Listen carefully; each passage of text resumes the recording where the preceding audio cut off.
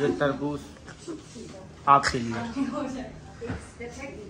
शकील तुम्हारे बाल कैसे बने ला जाने। लोगों को ये तबाह कर रहे हैं। एक मैम के साथ मिली। इन्होंने हमें तैयार किया। बहुत अच्छे तैयार थे मेरे पास से ये ऐसी कह रहा है। तैयार आए थे मेरे पास मैं तैयार हूँ। जाए वो फा- जिनके बाल नहीं बने वो इधर आके बैठे मना करें दस मिनट बाहर नहीं निकलो।